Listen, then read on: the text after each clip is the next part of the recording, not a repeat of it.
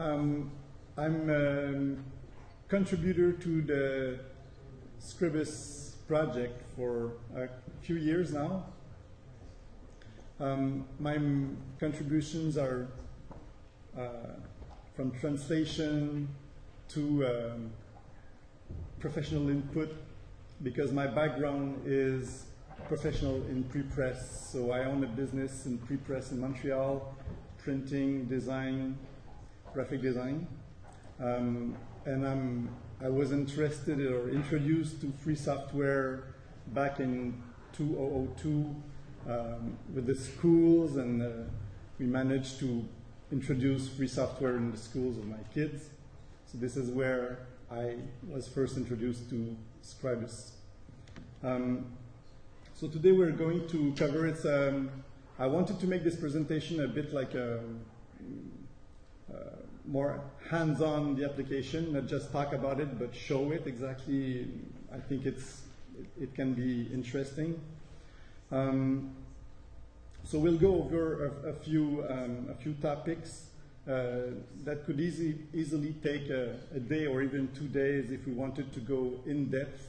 But I know that you're pretty fast and quick at understanding what's going on, so it won't take me a day to explain some things. Um, so uh, I just want to give a general overview. Uh, we're going to go over the preferences and how we can configure the, the application. Uh, we're going to see how the, the, the Scribus can help us to structure our document.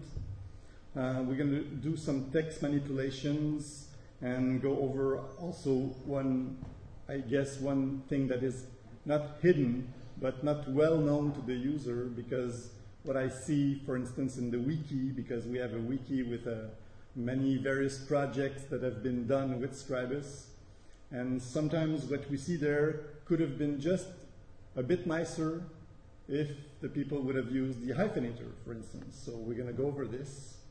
Um, I'm going to talk a bit about typography. I would like to go over also some um, image manipulation and to show you the non-destructive image effects of Scribus. Um, so I would also like to, because I'm from the pre-press and professional printing, I would like to talk about what's coming in Scribus, what you won't get in the current version 133.x uh, series, but in the development version, uh, everything about bleed, um, printing marks, registration, etc. Um, I will talk about Pantone or spot colors. And finally, I would like to give a few words about the PDF output. So, uh, in the prof- professional world, so here, here it is. Um, so, one thing I'd like to say before really starting this, this demonstration is I'd like to just mentioned that Scribus and why do we use a DTP application instead of, for instance, a word processor to, um, to, to make, to, to lay out pages?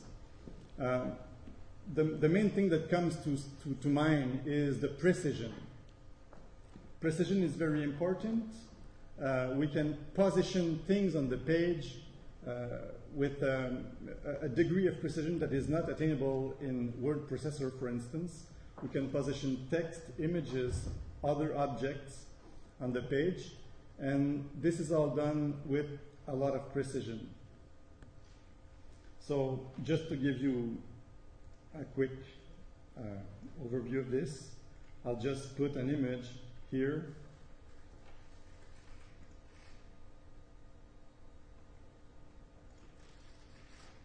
and you'll see that I can just position this exactly precisely where I want. So this precision is one thing, but I would like also to mention that an application like Scribus, which is very precise, as you can tell by the property palette here, that will show exactly where the, where the image is positioned on the page. Oh, I'm sorry. This is the case. Uh, where, So you see here, I'm expressing the values in points. So if I move the image here, this is updated, and I see that I can precisely put this image there with no problem.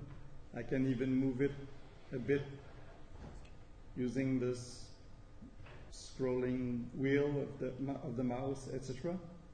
So, but this precision is one thing, but it's, what is it about the, um, some, somebody who would like to be uh, very creative and would like to first do things but with more uh, intuitively. But it's also possible. So you can just drag the elements around, put them, put the text, put the images, and then once you have um, put together your ideas, then um, you can reproduce, say you want to lay out a magazine, for instance. You don't know from scratch right away if you want that three column, four column, two columns, if you want big pictures, smaller pictures, bleed, no bleed, whatever. You can try. This is the beauty of this program. You can try, you can do whatever you want very intuitively. Once you've done that and you're ready to work, you can help yourself by taking the, the features in Scribus, and that will, that will help you to concretize this work in a very efficient manner. So precision doesn't mean that you're stuck with it and that you're just going to go like that and you're you know, all tied up in, in some ropes or something. No, it means that you can do, do things very precisely, but you can also let go your imagination. So um, it's a very pow powerful tool, and it's not um, very obvious that we see that. Um, in, in, the real world, we see, in the real pro professional or proprietary applications, you will see applications that, are, that have nearly 20 years of, of, uh, of development behind them. And in Scribus, it's quite a lot less but it has nothing to be uh, afraid or to, uh, you, can, you can compare them and Scribus can easily support the comparison. Um, so when I said that it can be uh, configured to the user, I will not go over all those preferences. Of course, it'll take um, too much time. But I just want to point out that here you have the full control on, on how the application will behave for you um, in, in terms of your own um, way of working. Um, for instance, what are uh, the units that you'd like? Uh, what are the, the document page uh, setup you'd like to have? The kind of margins, even the bleed. You can all set that in the preferences. Um, document information, you can set up guides this way, the display, typography, uh, typography, just for instance, here you have uh, the ability to uh, adapt the subscript and superscript to the scale that you want. So depending on the font you're using or whatever, what you're going to achieve as a document, you can manage this very easily. The tools can be also uh, edited separately, and this can of course be uh, done either for the entire application for your, uh, for your ease of work, or can be also uh, configured for every job. So it depends really on what you want to do. Here is the hyphenator. I mentioned it a few uh, minutes ago. I would like to uh, just uh, draw your, your, attention on it. Do you see the whole? Uh, it's a big. It's a bit big, but uh, here. Okay, so this hyphenator, I would like you to not forget it, and um, just Select the language you want to hyphenate your text with. Select the smallest wor word and the consecutive hyphenation allowed into your document. This will be a really decision made by you.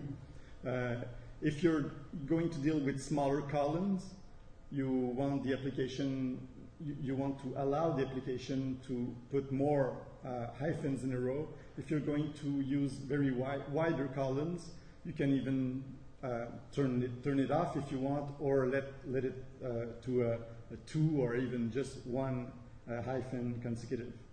Smallest word at three, it's very, it's too, too little. The, uh, think of a word of three letters and think that you would want to hyphenate this word. Uh, I don't think you would like that, so maybe you could put seven there. That's also something you need to deal uh, according to your layout.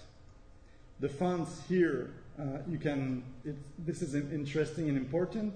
Uh, you can uh, deal with the available fonts that you have and you can substitute them or make an additional path to a group of font that you would like to have just for a specific job or for the entire application.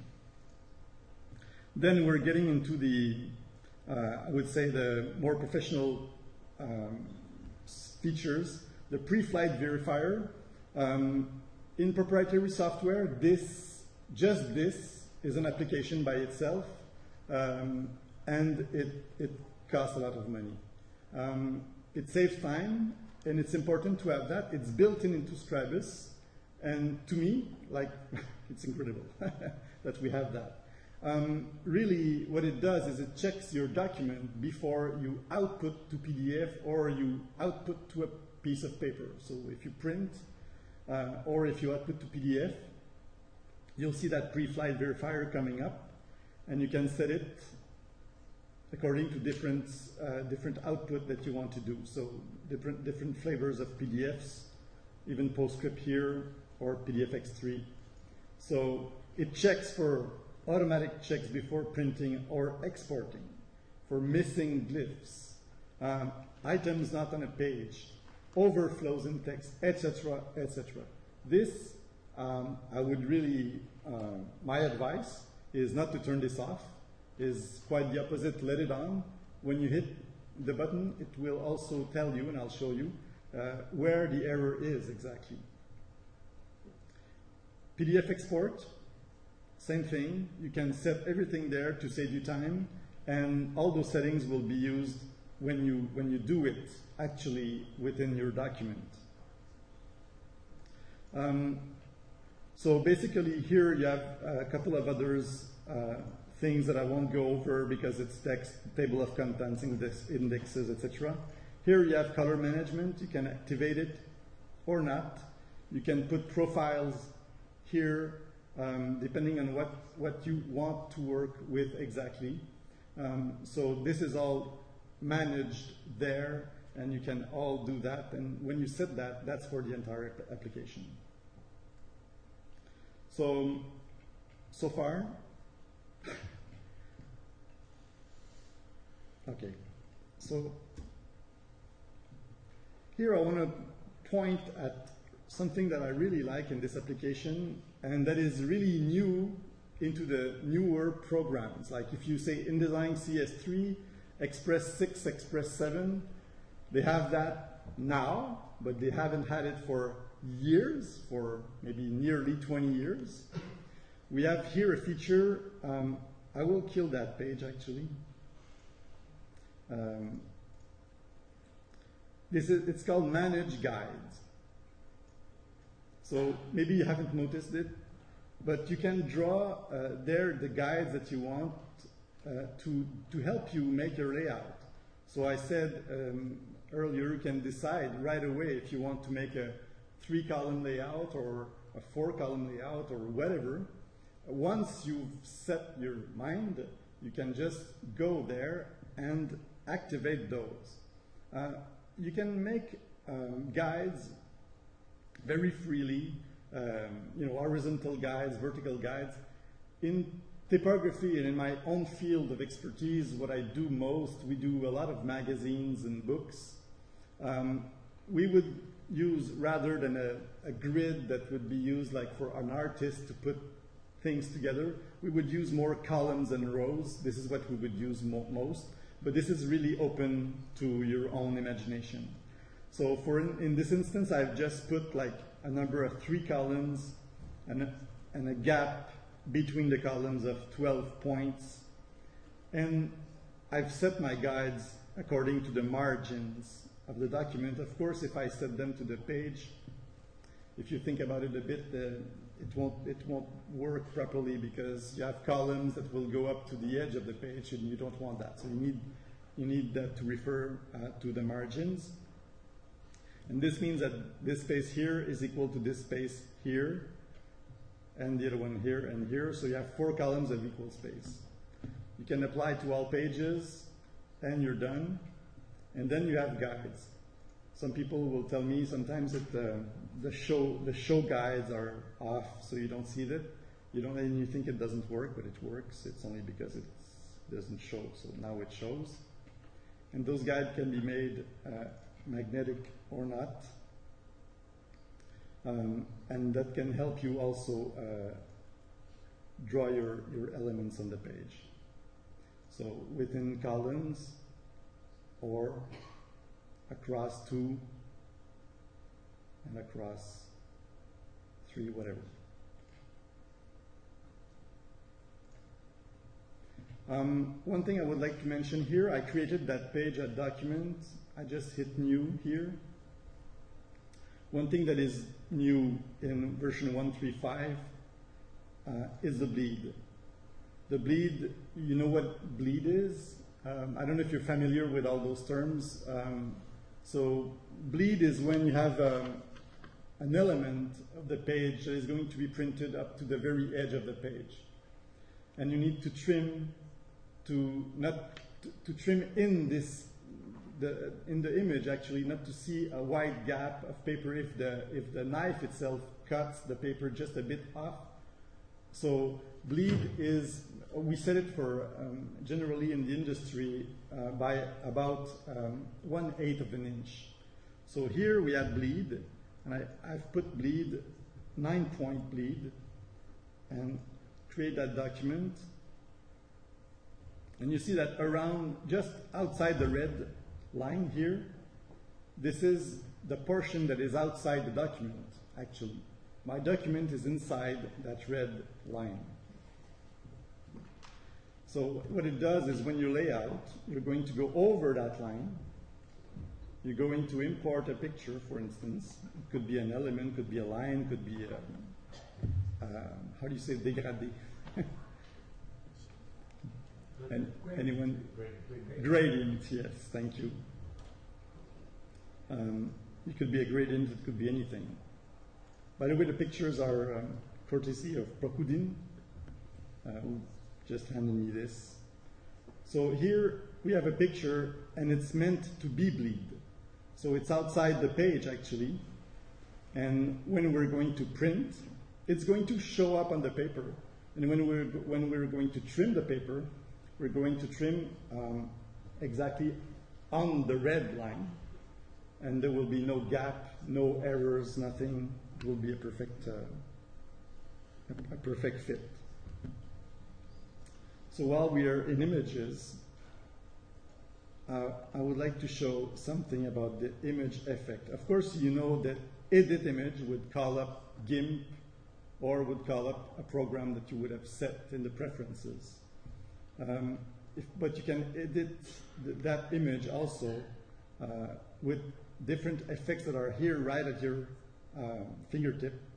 And these effects um, can just be added to the image and you can really edit that image right away. But the beauty of this is if I go OK, sorry, still done something wrong. Not edit image. Launching GIMP now.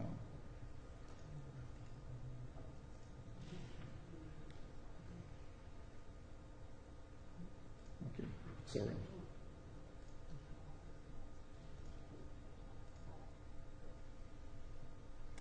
So just make that like that.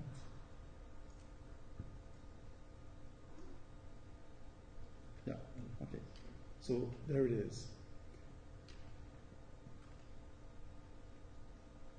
If I import another image,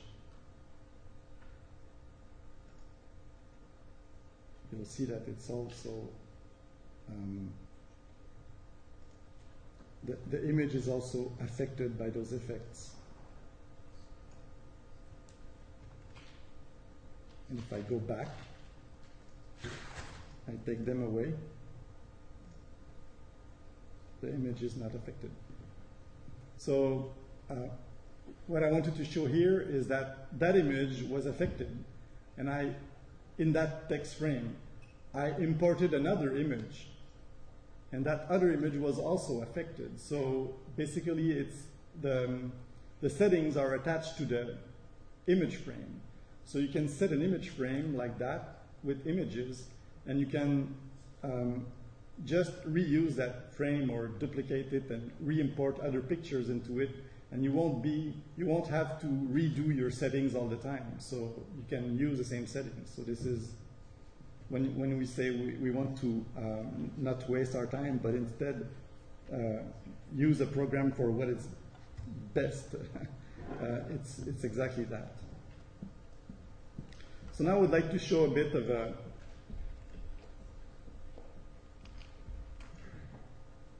a bit of a text manipulation. I'm going to use it. There is no Polish text in the Lorem Ipsum. a, someone could make a request for enhancement. So here is my text. I've imported, I'm, I'm going to import the text just to show you a few things that can be done rapidly while manipulating text. I was talking about columns first. Oh, you have to move it again. Okay, thank you. Sorry, I, I, I can go here, is it? Okay. So you can easily change the columns, for instance, and the gap. And then you can easily make some, this is what I want to say about, to mention about the, the, program itself, is you can easily do your testing and even print those and test if you want that, if you like that, if it's too big, too wide, too narrow. And you can all do that with a few clicks.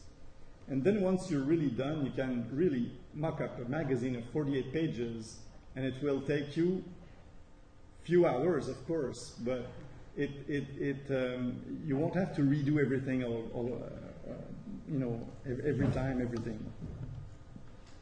So um, the text itself can be also tested and manipulated like that.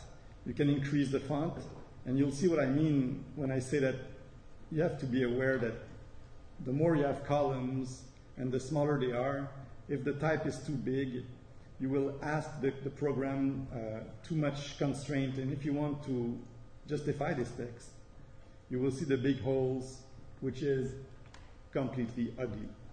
Is it the fault of the program? No. The user should be aware that the wider the, the wider the, the column, then we can use wider wider text, if the or or uh, a bigger text. And if the column is so is small, then you can decrease, and you'll see that it's already better. But there are still holes there, and why they are holes, it's because the text is not hyphenated. So, how to hyphenate now? I just said I wanted French hyphenation. I have a French text. I go to extra, and I go to hyphenate text. Now you see that it's a bit better, but it's not perfect. It's not perfect because it depends on, maybe here I have very small columns because I have a, a, a page like that, that size, a letter page, with four columns. So if I put that three columns instead of four, you will see that it's much better like that. Um, what is new in um, in version one, in full development version 135, and what you can expect in the future is we have uh, word tracking and glyph extensions here uh, that can rad radically ameliorate things if you move a bit those figures, and you'll see what I mean in a few minutes. You'll see that I'm diminishing, I'm compressing a bit the, the space between the words. And I can do that also, I can decrease the minimum value for the glyphs, the space between the glyphs, and all of a sudden, I achieve a much nicer typography. And this is completely what, we, what a professional would expect um, to achieve what we call typographic gray. Um, so just to understand what is this new thing, typographic gray, I would like to do something with you really easy. Um, we'll do an automatic line spacing here. And I will decrease slowly the size of the text. And you see that here the text appears like a, color which is gray actually.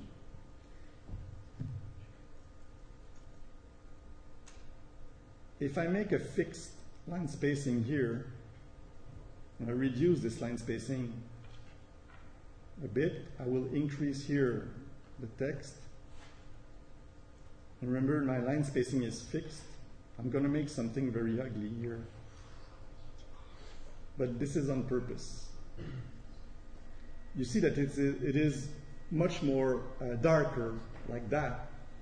So um, actually, the typography, the, the, I want, just want to show you that there is a big contrast between the color of the type and the paper, and that when you affect this or when you lay out, you need to make a, a proper equilibrium between the, the size of the type, the leading or the line spacing, and the width of the column, and hyphenations, and then you'll achieve, you'll get the gray that you want. But the gray that you want is the gray, it could be a tint of 10%, 20%, 50%, uh, you know, whatever, the gray has to be uniform.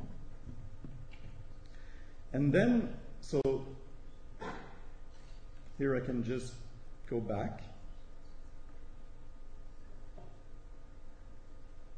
And you see here it's getting uh, lighter and lighter. Now we're getting better. We're 9 or 10 on 10, 10 on 11, 10 on 12. See, it's, it's already much better. And on top of that, so say you have an article in a magazine, and I would make just a little space for that, and on top of that, you would have a big heading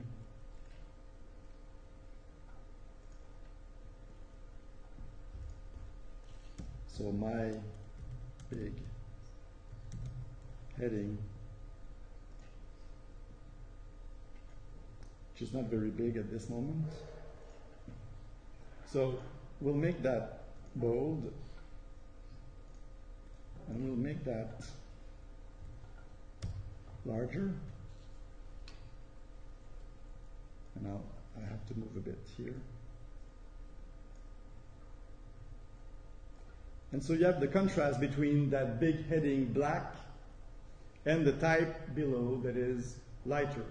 So basically what you're going to do when you lay out things is play with those contrasts. And you see I'm not talking too much about color right now. Um, I think um, from the graphic design point of view, um, if your layout is going to be bad in black and white, it's not going to be better in color. So what you need to have is a nice balance with your whatever. i have put a header there. It could be a big uh, drop. Uh, um, I'm sorry. Uh, I'm sorry. I'm missing that word. Lettrine. Uh, the capital letter in the initial letter. The drop cap. It could be a big drop cap. It could be anything you can think of. It could be subtitles. It could be all the level or all the level of text that you have in any kind of publication. It could be the legends of the picture. It could be um, highlighted text, things like that. It could be anything that you want. What all I want to say is you have here a tool that can do all that, and you have that. It's it's completely usable, and you can you can do you can have that control up to that level uh, with with your text. Um, So, um, okay, so let me go, because time is flying, isn't it? Yeah. Um,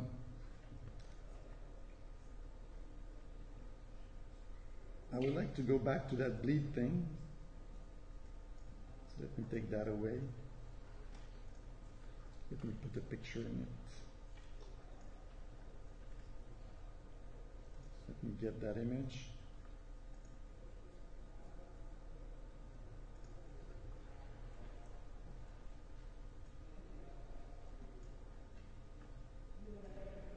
Of course, uh, you can do all, all type of things with Scribus, including you know moving around the angles of a,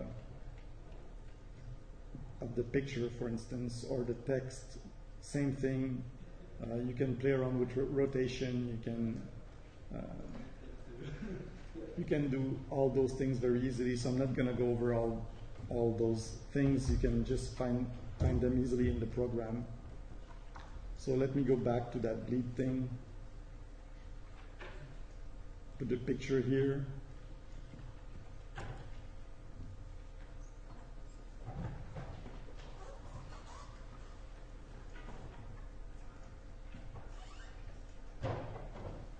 When I hit this button, which is save as PDF, you will see right away coming that little dialogue. That's the pre-flight verifier I was talking about. We have text overflow here, and this is a problem. When I click on this, you see that it automatically gives me uh, where the problem is, so I can fix it. So why avoid that? No, don't avoid it.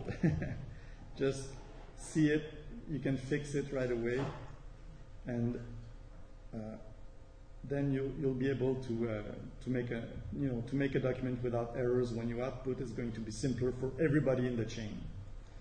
So in the end, you're faced with that dialog, which allows you to set the PDF the way you want.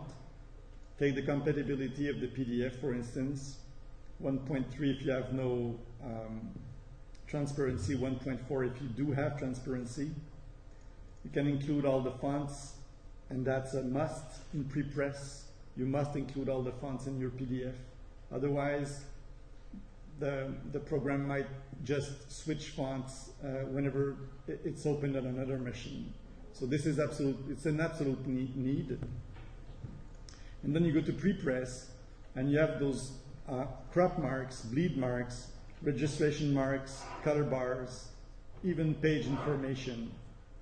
Um, and you can use the document bleed settings and here fix the offset of those marks. So if I go save, there's a document that already exists with version 2, it's okay. Um, then if I want to open up that document and see what it is in, um, sorry, here.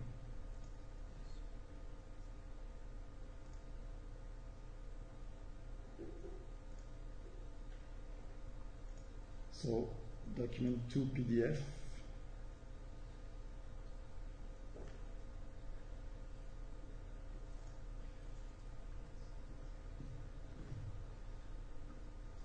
You'll see uh, what it looks like in um, Adobe um, Reader. Can you see well? If I enlarge it, you'll see that the marks are there. And the image, which is supposed to be cropped because I want it to be cropped, there's a white, a red line here, and that's the portion that will be cut by the knife when I will hand that job to the printer.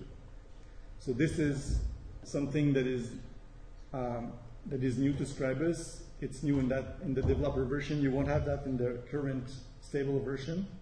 And the workaround to this is to, to manually do your document wider and to put your marks. And it's all written in the in the wiki what to do with that.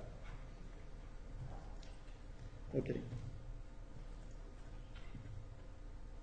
I'm sorry. Let me get rid of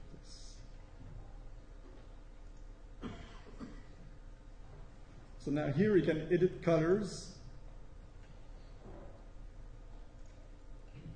I just wanted to make uh, a point about the spot colors because I think it's important. Um, of course, for all sorts of reasons related to free software connecting with things like um, company-owned Pantone um, spot colors specifications. Uh, the program cannot ship with those libraries, but it doesn't mean that we're stuck and we cannot do anything about it. Um, on the Scribus wiki, which I uh, invite you to visit, there is a whole procedure on how to get those files to get inside Scribus, Scribus the, the Pantone um, palette so that you can specify those colors and then just get, if you want to buy a color specifier, physical specifier printed, that will allow you to communicate with either your printer or your client or both, and hopefully everyone will agree on the same color and the same color will be printed also on the document. So um, you just click on that is spot color and the, the, the, the color you will create using that will be on a separate plate. So when you output your document, you will have, say for instance, a black plate and a red plate. And you have, you'll have two separated colors on, uh, on the plates in the document. Um, so I guess that's very it. I can take the questions. Um, I wanted to show you one, one little thing here. I like that. It's a scrapbook. I will just create a page, empty page. So, um, It's off again. I'm sorry. It's off again. We have to move it to the. Oh, you want me to move that, but I, I don't want to move it. Oh, sorry, I didn't know you had sleeping stuff. I'm hitting stuff from you now. so. Whoops, sorry. What did I do?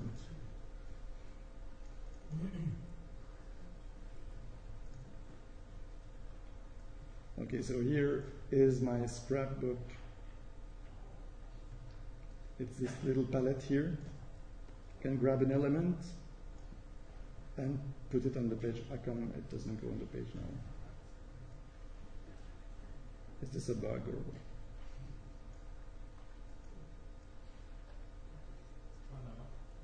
Hmm? It's, bes it's behind something or? So let me show that to you in another instance of Scribus. I'll hold it. I'll show you that because I think it's worth it.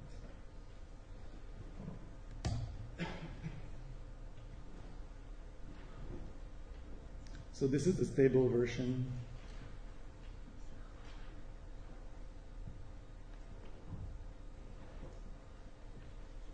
So here I just, it's very lousy on my part, I just did a little frame, text frame, and I just put some text into it. And I can just drag that, it's already done.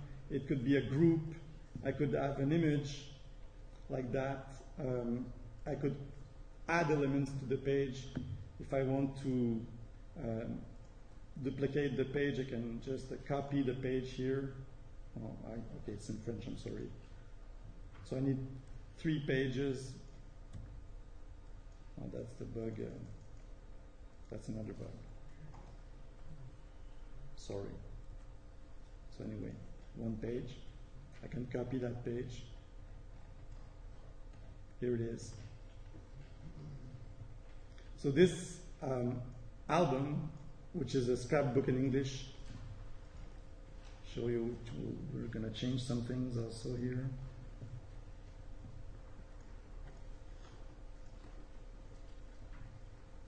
So this scrapbook here can be full of anything that you want to reuse. So it could be um, it could be picture with an empty box, an empty text frame for legends, for instance, that you would want to reuse. It could be made a two column width, three column width, whatever you want. You can add all of those elements and instead of redrawing them all the time and reusing it or copying it, selecting, etc., you can just put them in the scrapbook and grab them, and there you are.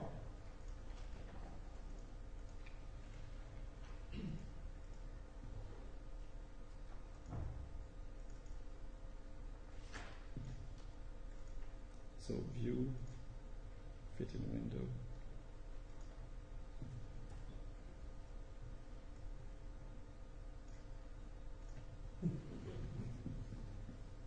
Okay. So I can take questions. Yes. I have a technical question. Uh, in Polish, uh, it's bad style uh, to leave certain words at the end of the line, uh, mostly prepositions. Uh, so, uh, is it is there an- any way to uh, move those words automatically in Scribus to make it grab lines uh, before those words, not after? Yes. Yeah, it's a very. Uh, I like this question because I, I can um, show something that is called short words that was created um, by one of the Scribus developers, um, and this allows you to put a space um, and um, a non-breaking non-breaking space uh, just before that letter and you can edit that file in the preferences um, here in short words. So, for instance, you have the language, I don't know if Polish is here. Yeah? So, here you have the, those um, letters that are that can't be left alone at the end of a, of a line. So we just edit that. It's really easy. Edit custom configuration. If you save it, it will be used over system-wide configuration. You just separate those uh, occurrences by a comma, and you save. And then once you were in, when you were in the text, say for instance, you would have a, a, a wider text. We'll put. Um, I don't know if. Uh, if I put like that, Wroclaw, V, uh, like that. Does that make any sense? um, if I do that, and then I go to extra, um, sorry, uh, and I go to short words, apply unbreakable, unbreakable space on selected frames, active page, or all items.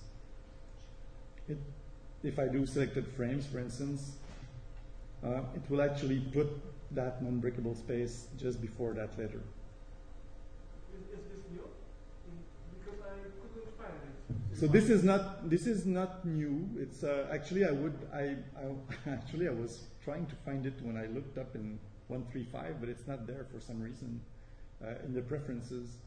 So it's there in the 13312 SVN, which is uh, um, the current stable version. So you will find this. This has been in Scribus for quite a while now. I think a few years.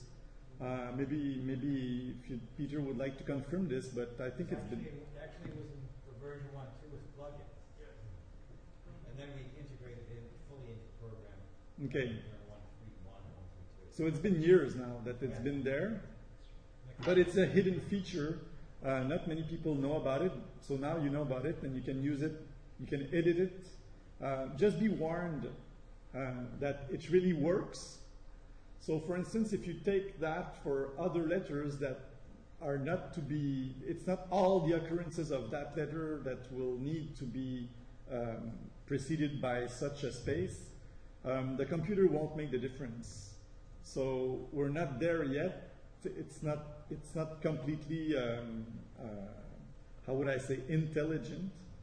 So uh, I'm, I'm telling you this because in French we had uh, some variations of, uh, for instance, uh, the liters and kilometers and things like that. But if you put an, uh, some letters together uh, alone like that, uh, it would not take care of the apostrophe And then if you have L apostrophe uh, like l'autre ou l'avion, it would put a space before that, and it took me days to figure this out. So, so now I, I can warn um, other people of be aware of don't change that list without testing it.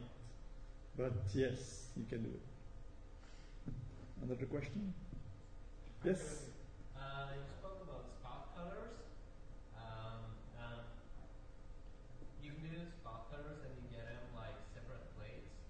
Um, what do you send to the printer? Do you just send like the regular PDF to them? Yeah, you send you send the PDF would include the, the spot color. All right. Um, your printer must be able to, to handle the PDF itself. All right. Um, if it if you can't handle the PDF for some reason, you can output a PostScript file. Right. The .ps file would do, and it's pretty. It works. So no problem with that. All right. Right. Somebody else had a question. How orientation color is defined inside the Scribus uh, object model? As a regular smart color, spot color, or special color object? What color? Which color? Spot, smart, or special uh, color object? Yeah, what, what, what, what which color it? Orientation color. The background color? Color for Ah, okay. Um, uh, it's just tag. It's a special tag, and it's fixed. It, you always have a registration color, and if you, um, when it creates separations, it spawns on both plates. So it's special uh, color object inside Scribus, or it, we use uh, spot color all? I think it's a special color.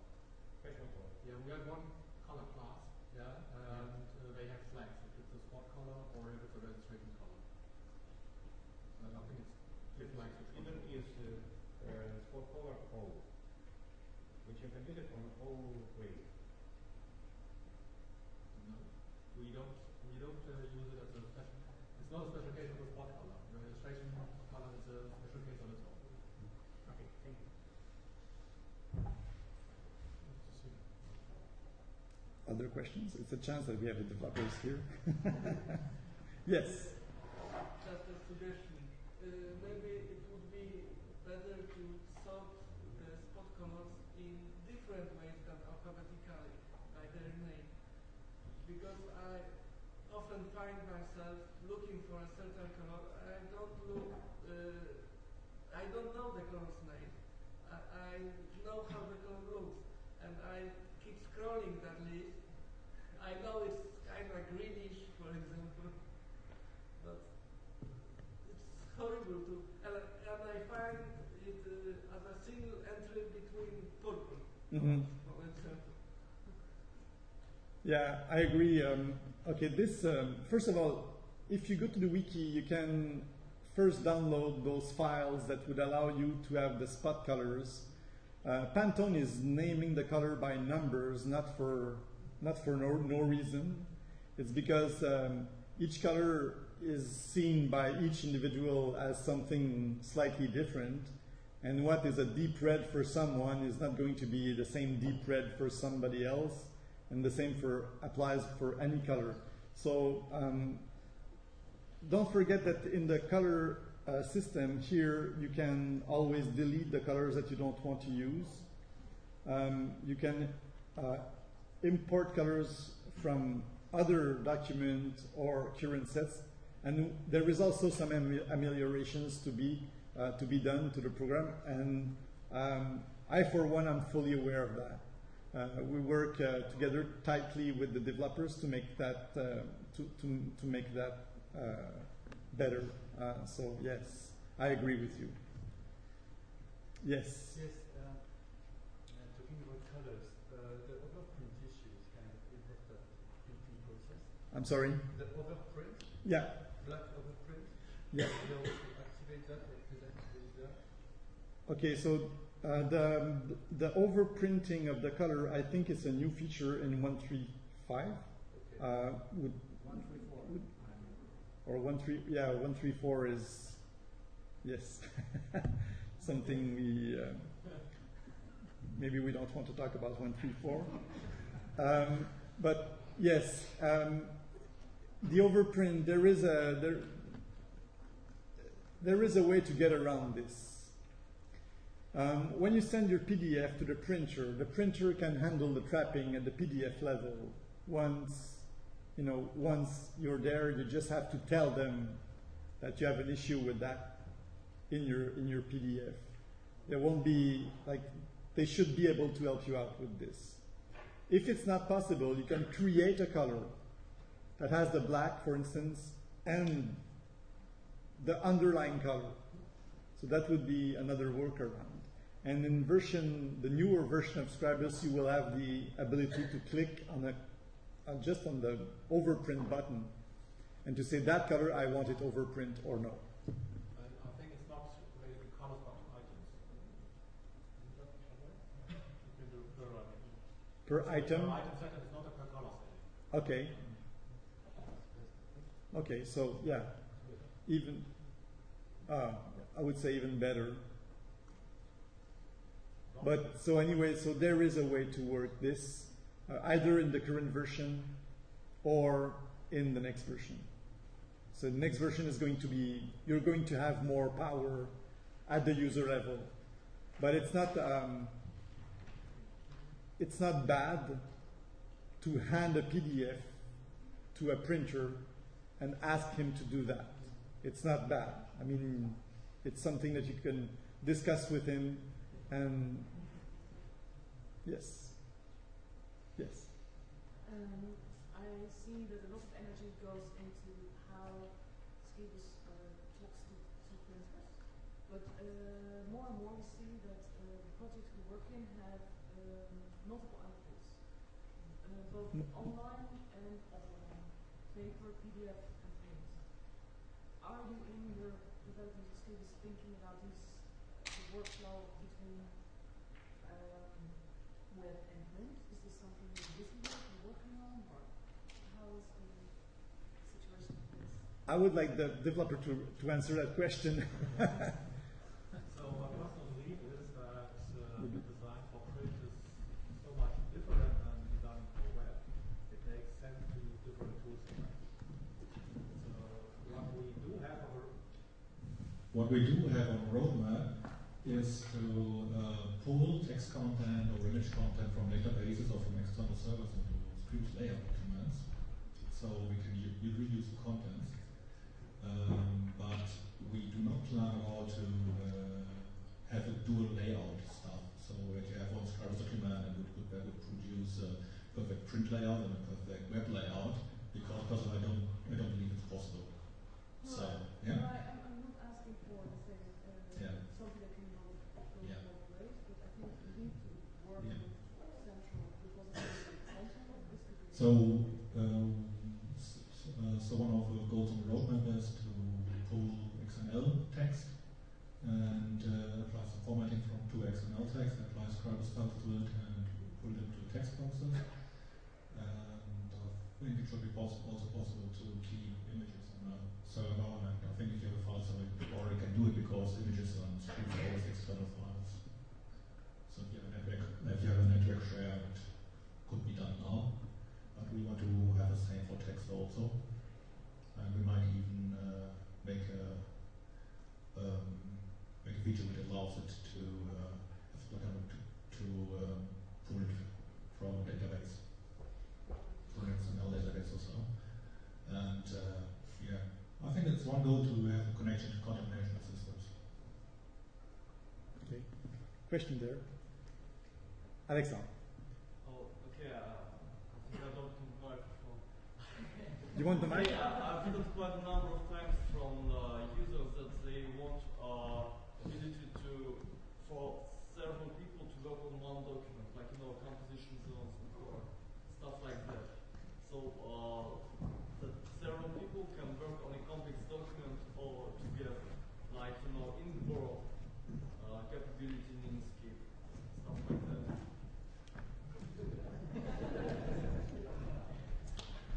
Um, well, the- take two. No, no, I got, I got the question. I've heard several, no, well, more than several times uh, from users uh, requests to have, have an ability in Scribus to work simultaneously on one document for several people. So like you have some kind of composition zones so that uh, each uh, designer or each typesetter has control on one part of the document and uh, they work on the same, same document simultaneously. Is something like that planned in Scribus? Okay, Andreas, do you want to answer this question? I can, I can answer from the user point of view, maybe, and you'll, you'll complete. Oh, okay, okay. So yes, um, this is a very good question. Um, it's about collaborative work. Um, what, uh, what can be done at the moment is really split the job into different documents that can be put together at the end or simply output as PDFs that, we, that you'll end, end also to your printer or that you can combine together at the end. This is no real problem. Um, with, within the application, you, you're going to deal with some, of course, you have to share the same set of preferences and things like that, otherwise, you're going to enter into conflicts with preferences, and you will lose the preferences uh, of one part of the document to the advantage of the other, so you don't want to do that. But if, you, if it's the same publication, then you could split the document into as many sections as you want, and then you just either recombine them or output, when you output them as PDF, then you hand those to the printer in separate sections. It doesn't matter really uh, how they can, we can handle many types of, of documents at once. So um, this is how I would do it.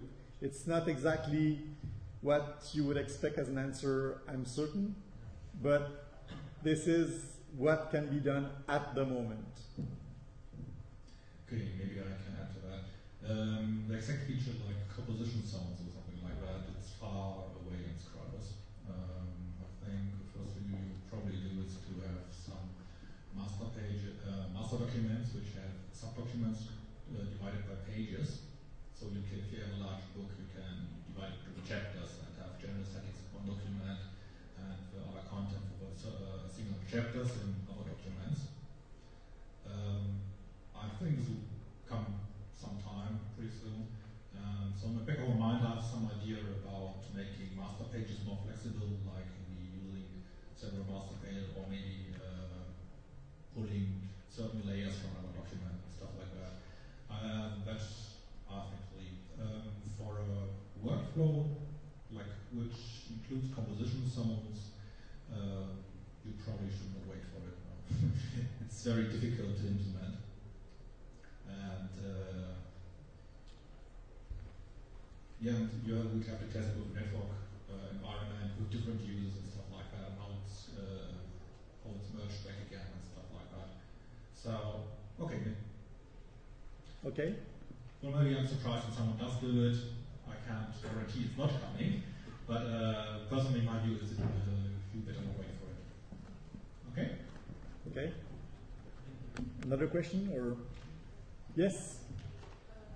Maybe you can grab the mic. I have a question about, uh, for example, we, uh, if we make a layout with an Asian language, for example, like Chinese, Mm-hmm. and uh, in the text there's a um, certain words it's uh, it's in alphabet, and uh, in fact the, the alphabet, the words was in the alphabet is not a real font. Okay. So uh, that caused the problem that the the space uh, the, the space between uh, each word it, uh,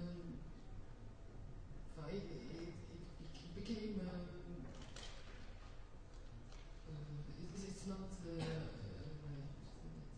it, it, it's, it became uh, enormous. Okay, what you'd like to do is uh, like put a drawing into a line of text. Is that what you mean, or For example, in uh, in one text, yes? the, all the Chinese words, and uh, in between there are few words like, uh, for example, the name of some person who should be uh, in English or French, hmm and uh, these words, uh, when we type in alphabet, it um, it's not a, a real, uh, it's not a, a real font who match with the Chinese one.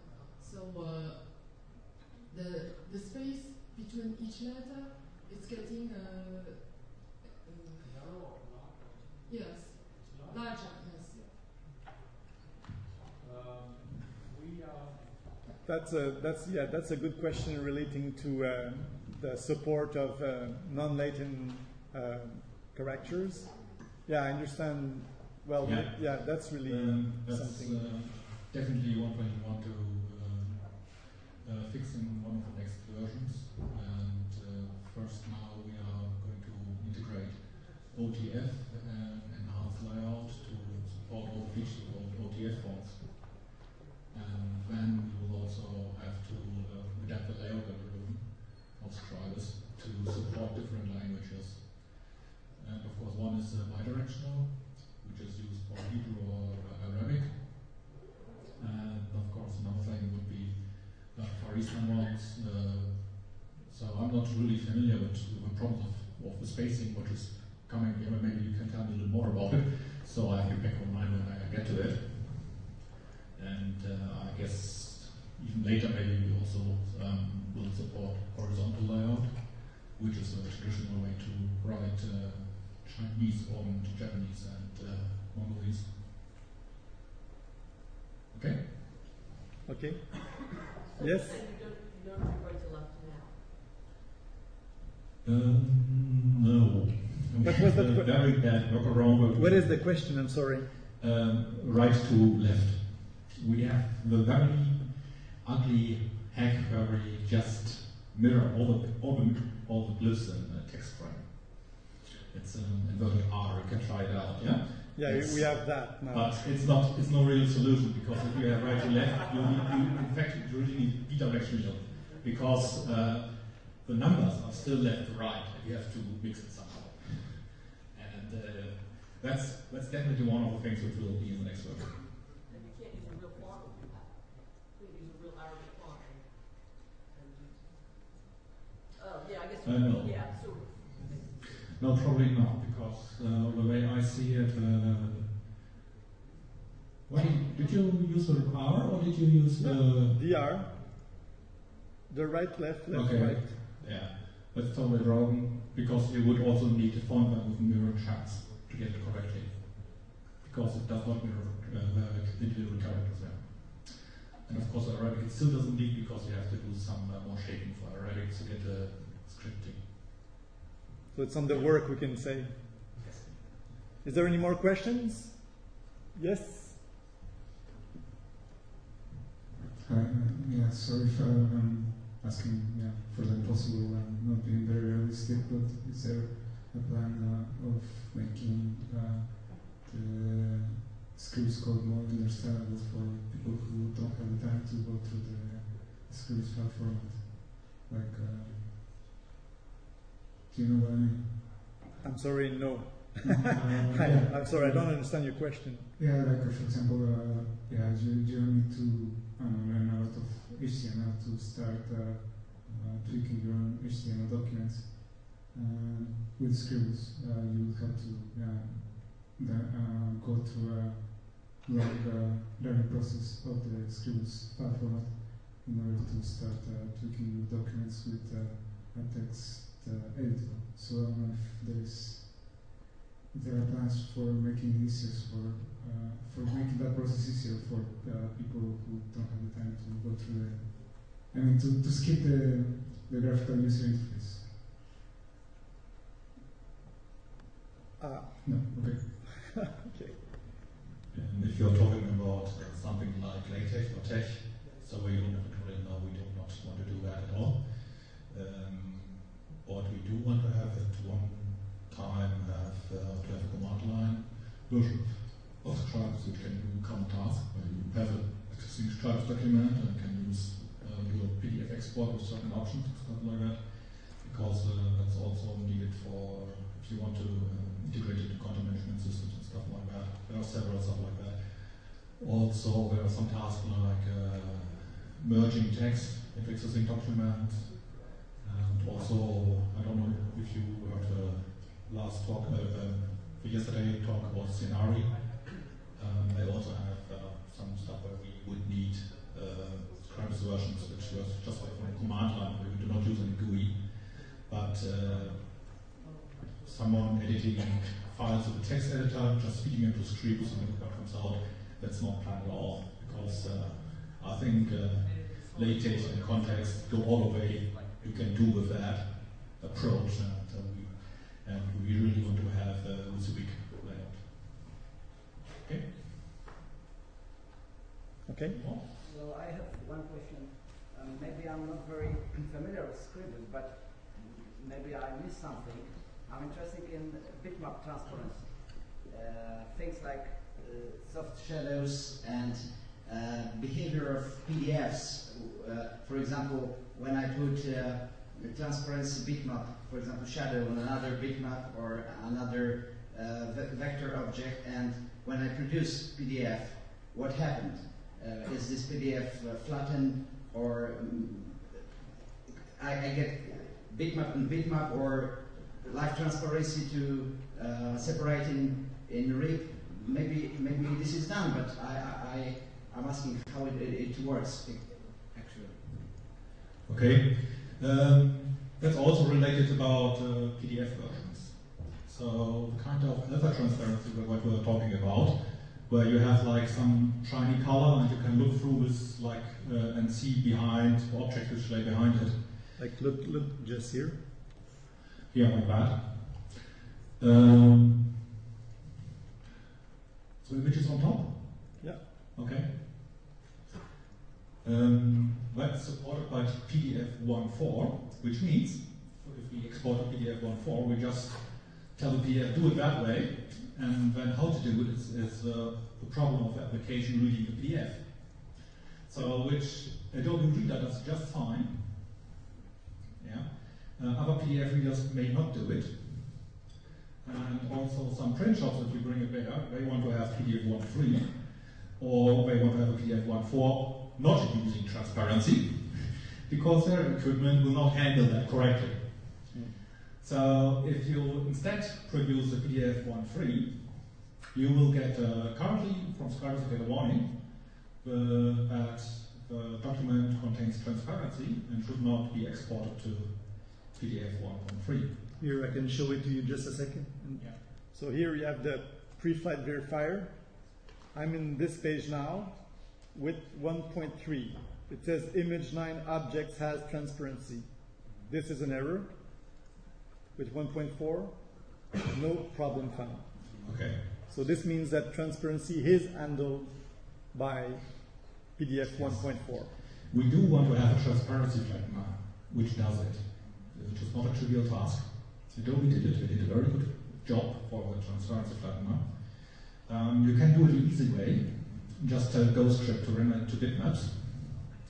Because once you render it to bitmap, of course, all tr- transparency is flat. Um, but, but if you produce a PDF which contains one bitmap for every page, it has other disadvantages.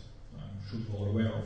So that's not really what we want. So uh, the currently workaround for Scribus is create a PDF in 1.4 and then open it in Adobe Reader because Adobe Reader has a very good transparency flattener inside from Adobe and print it to a file and print it to a PS PostScript file.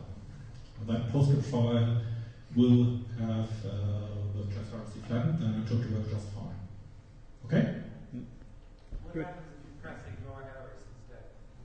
But if you do if you do ignore errors, you you will get you, you will not get transparency anyway if you output to PDF 1.3. It will ignore transparency.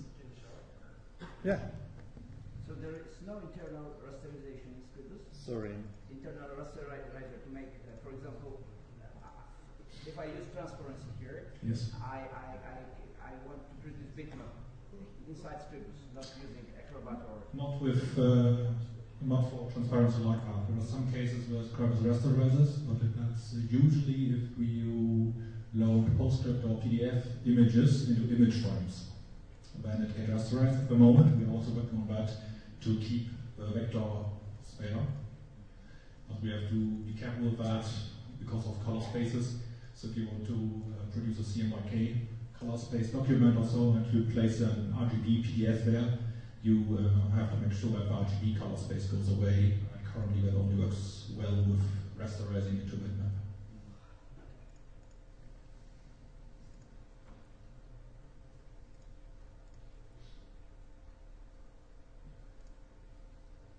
So would like to have uh, transparency flattener inside Scribus also, but uh, currently there's no one who has the time to implement it because it's a large task to do it properly. Okay. So you have no transparency. That's what happened. If you ignore the errors, well, the program is gonna is gonna do what it can do actually. So. And then there's a certain order for the layers, so if the order otherwise, then there would just be solid black layers. Oh sure. If I put if I like the image right there is on top of the the letters. Yes. You, you, with this, because the, the text is just black and white, yeah, there are different uh, ways to do it. Yeah, of course you can just order the it differently, yes, and uh, maybe even tell the text to use overprinting. So, and that would be look just perfectly for this special case. But just imagine you have two images which overlap, and where it's overlapped, you want to see the information from both images. Yeah, and that's not possible without true alpha transparency. Hmm. Yeah, there are stuff like that. And uh, for example, if you have two text words um, with different transparent colors that you overline, then they uh, overlap, you get the mixture of the colors and always not. And so, and the transparency flattener usually intersects all the vectors and finds the objects which uh, have to be mixed and creates separate objects for them. So it, so just creates an intersection everywhere where transparent objects overlap and uh, puts it with a mixes mixes the two colors and puts it in as a solid color in, in there. Is there any way to assign a spot color to monochrome uh, Scribus? Uh, Grayscale bitmap, I mean. yes, uh, we have uh, the image effect, we have a colorize effect. And we also have a duotone and tritone. And it has some awkward things or worker uh, stuff like that, but basically it should work. I mean spot color, for example. I, I, I Oh. So duotone. Yeah, sure. Um, for example, if, if you first add a grayscale uh, filter and uh, and then do a colorize filter, oh, I think you have to you, you remove a duotone or just take keep a duotone. It's not. Okay, doesn't matter. Take one. Yeah, so duotone here. And then you can assign the colors. Okay, and if it's a spot color, we'll use a spot color for that. Yeah. Yeah, it has to be made spot colors before they're at creation time, or you must edit the color and, and make it spot, and then you can use this. So, so to to explain maybe who doesn't know about spot color. Spot color is just uh, a color where you just have a name, but you don't care about the exact uh, color value about it, because that's defined elsewhere, it's defined at the printers, yeah? And uses some color Scribus, but you can say like, why would I have a Pantone blue and use the green in Scribus? Yeah? What Scribus does with it, it keeps the name Pantone blue in the document, and when you do the print bureau, he says, okay, this is supposed to be Pantone blue, and he uses the Pantone blue ink. So even if you see it in green uh, on the screen, yeah, it will be perfect Pantone blue when it's printed. So that's that's the stuff about the spot colors. Yeah, I think there was someone else over here. Yeah. First, I wanted to introduce myself. I'm Carl Worth. I've been working on the, the Cairo graphics library. And specifically, I want to, uh, uh, outside this meeting, meet and talk with as many graphics developers as I can to know what we could do to, to better support your application. Because a lot of these issues like uh, PDF output and uh, uh, transparency flattening, we've been working on already. Oh, great. Uh, and we don't, we don't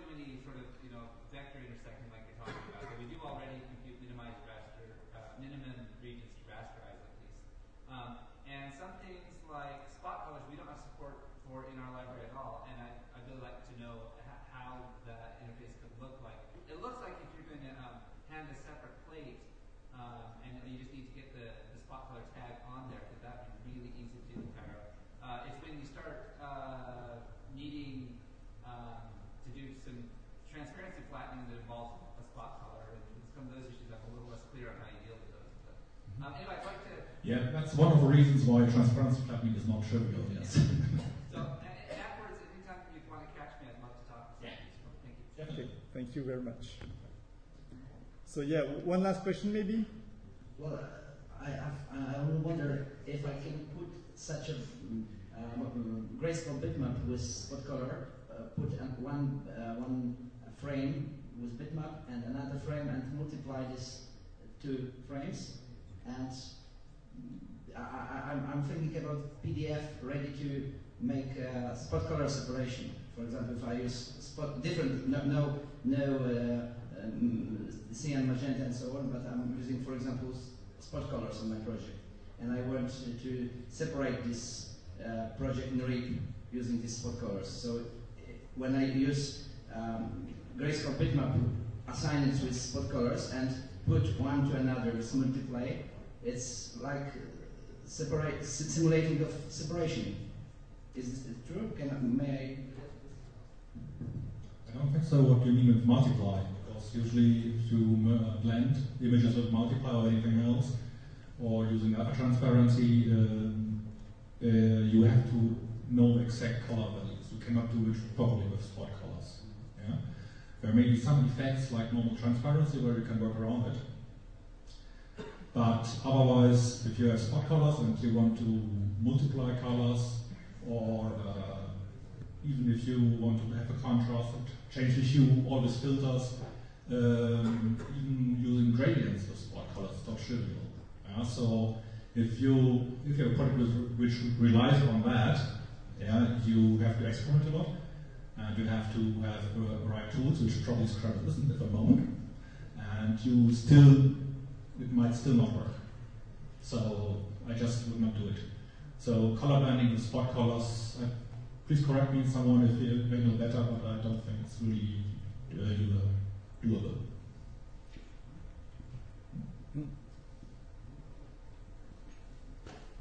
So, okay. So if you have idea how to do this, well, if maybe it, it would work with half screening in some way, uh, but that's out of my really.